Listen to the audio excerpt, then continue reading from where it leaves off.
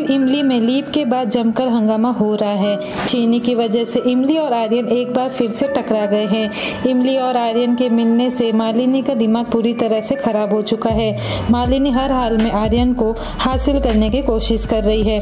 Serial इमली में आपने अब तक देखा कि इमली बच्चों के लिए स्कूल में लड्डू लेकर जाती है। लड्डू खाकर बच्चे बीमार पड़ जाते हैं। वहीं चीनी को खून की उल्टी हो जाती है। सभी बच्चों को अस्पताल में भर्ती करवाया जाता है। इसी बीच इमली की कहानी में एक और बड़ा बखेड़ा खड़ा होने वाला है। जिसमें अपकमिंग ट्रैक में आप देखेंगे कि बच्चों के माता पिता इमली पर बरस पड़ेंगे। लोग इमली को खूनी बताएँगे। हॉस्पिटल में इमली को बेइज्जती का सामना करना पड़ेगा। इसी बीच पुलिस आकर इमली को गिरफ़्तार कर लेगी।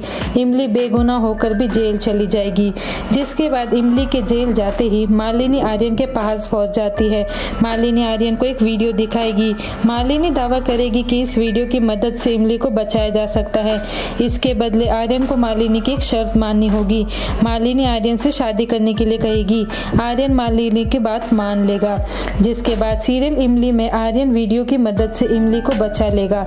जेल से बाहर आने के बाद इमली आर्यन से बात करेगी। इमली पूछेगी कि आर्यन उससे क्या चाहता है।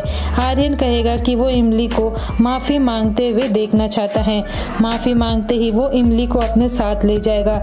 इमली आर्यन से माफ़ी मांगने से इनकार कर देगी। इमली को सबक सिखाने के लिए आर्यन मालिनी का सहारा लेगा। जल्दी आर्यन मालिनी के साथ शादी करने का ऐलान करेगा। ये बात सुनकर इमली के पैरों तले ज़मीन खिसक जाएगी। फ़िलहाल आपकी क्या राय इस खबर पर हमें कमेंट्स पर ज़रूर बताइए। और अगर आप नए हो तो हमारे चैनल को सब्सक्राइब कीजिए।